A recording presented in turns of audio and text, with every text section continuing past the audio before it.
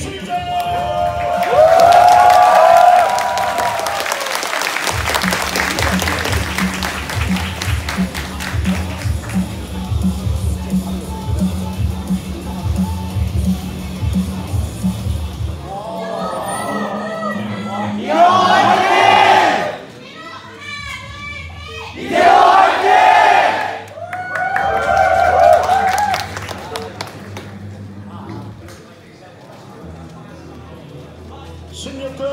좋은 첫 번째 매치 시작됐습니다.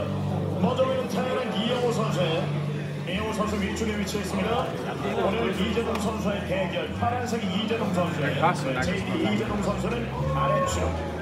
두 선수의 ASL RF의 상대전적이 어떻게 될지 이두 선수가 개인과 어디에서 만나서 누가 이겼던 간에 상관없이 이 두 선수 간의 대결은 그 특유의 분위기가 있습니다.